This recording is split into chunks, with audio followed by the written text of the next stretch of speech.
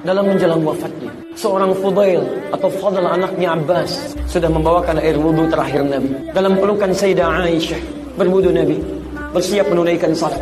Ali ada di situ, Aisyah ada di situ.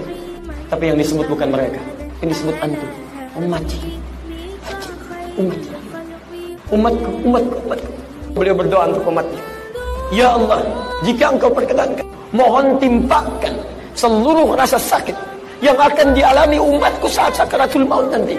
Tolong timpakan kepadaku sekarang saat ini supaya mereka tidak merasakannya lagi saat sakaratul maut.